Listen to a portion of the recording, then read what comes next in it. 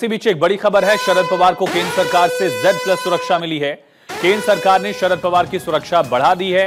ये बड़ी और अहम खबर इस वक्त की शरद पवार की सुरक्षा बढ़ाई गई है। जेड प्लस सिक्योरिटी जो है, वो अब शरद पवार को मिलेगी। उनके आसपास जवान होंगे तैनात।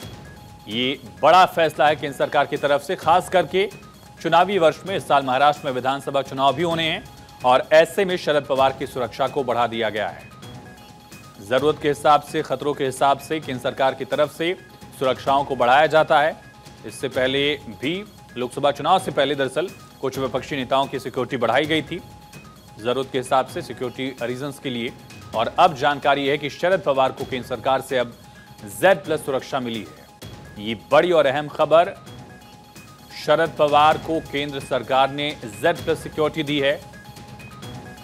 सुरक्षा बढ़ाई गई है।